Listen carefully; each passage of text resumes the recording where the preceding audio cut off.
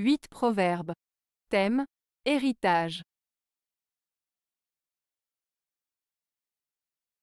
1.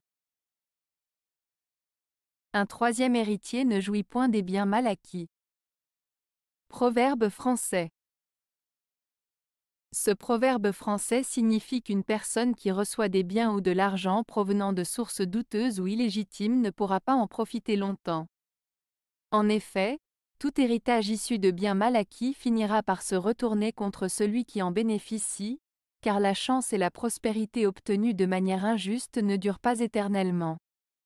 En somme, ce proverbe met en garde contre le fait de profiter de manière indue de biens obtenus de façon malhonnête, car tôt ou tard, les conséquences négatives se manifesteront.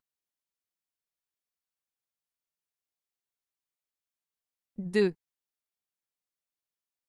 Le plus près du genou et le plus près de l'héritage. Proverbe allemand.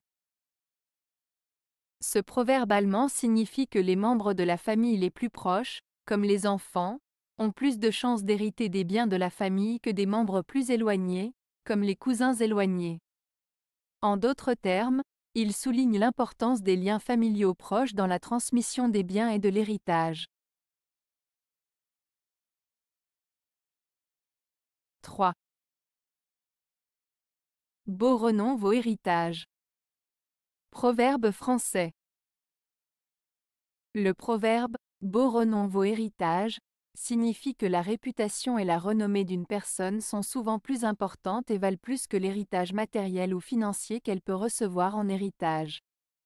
En d'autres termes, il souligne l'importance de laisser derrière soi une bonne réputation, car elle peut être plus précieuse et durable que les biens matériels transmis de génération en génération.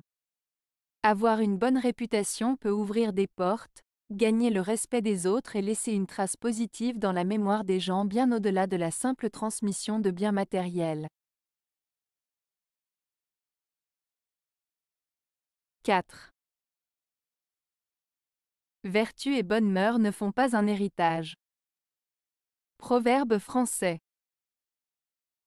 Ce proverbe français signifie que les qualités morales et les bonnes actions ne sont pas transmises automatiquement de génération en génération. En d'autres termes, le simple fait d'avoir des ancêtres vertueux ne garantit pas que les générations suivantes auront les mêmes qualités. Chacun doit cultiver ses propres vertus et agir avec droiture pour mériter un bon héritage moral et éthique. 5. La mort de l'un, c'est le pain de l'autre. Proverbe allemand. Ce proverbe allemand, la mort de l'un, c'est le pain de l'autre, exprime l'idée que dans certaines situations, la perte ou le malheur d'une personne peut profiter à une autre. Cela met en lumière le fait que parfois, les événements tragiques ou les difficultés vécues par certains peuvent entraîner des avantages ou des opportunités pour d'autres. Il souligne ainsi le caractère complexe et parfois paradoxal des relations humaines et des circonstances de la vie. 6. De dix frères qui soignent leur père, cinq espèrent la guérison, cinq espèrent l'héritage. Proverbe malgache. Ce proverbe malgache met en lumière une réalité commune dans de nombreuses familles. Lorsque le père est malade, certains enfants s'investissent pleinement dans les soins et le bien-être de leur père, espérant sincèrement sa guérison. D'autres, en revanche, semble plus intéressé par l'héritage que le père pourrait laisser derrière lui. Ainsi, ce proverbe souligne la diversité des motivations et des attitudes des membres de la famille dans des situations difficiles, telles que la maladie d'un parent. 7. Avant de mourir, la perdrix lègue à ses petits son art de gratter la terre. Proverbe zaïrois. Ce proverbe zaïrois signifie que chaque génération transmet à la suivante son savoir-faire, ses compétences et son expérience. La perdrix, avant de mourir, enseigne à ses petits comment gratter la terre pour trouver de la nourriture.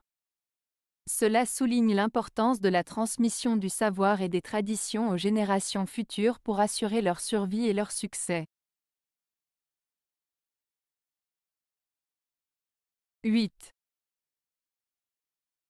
Mieux vaut un dollar gagné de 10 hérités. Proverbe américain. Ce proverbe américain signifie qu'il est plus gratifiant et valorisant de gagner de l'argent par son propre travail et ses propres efforts que de recevoir une grande somme d'argent en héritage. Il met en avant la valeur du travail, de la persévérance et de l'indépendance financière par rapport à la facilité de recevoir un héritage sans avoir eu à travailler pour l'obtenir. En résumé, il souligne l'importance de l'effort personnel et de la fierté de gagner sa propre richesse. Avez-vous aimé la vidéo? Si oui, mettez un pouce vers le haut. Cela aidera la chaîne et aidera les autres à la trouver. Nous ajoutons plusieurs nouvelles vidéos quotidiennement. Abonnez-vous pour ne rien manquer.